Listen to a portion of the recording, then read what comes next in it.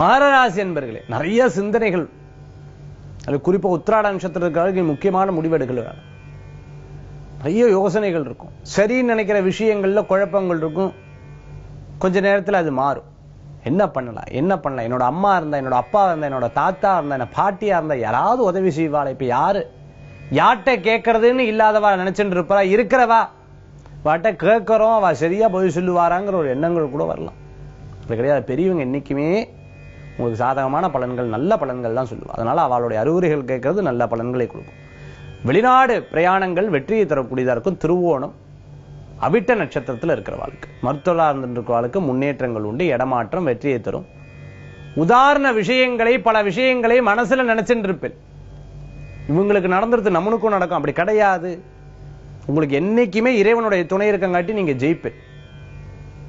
திருமண காரியங்கள் கைகூடும். போற விஷயங்கள் லாபகரமாக நடக்கும். குறிப்பா உத்திராட நட்சத்திரத்துக்கு பிரயாணம் வேண்டாம் தினத்துக்கு. மரராசி என்பவர்களுக்கு உண்டான அதிர்ஷ்டமான எண் ஆறு. நிற வெண்மை வழிபாட்டுக்குண்டான தெய்வம்.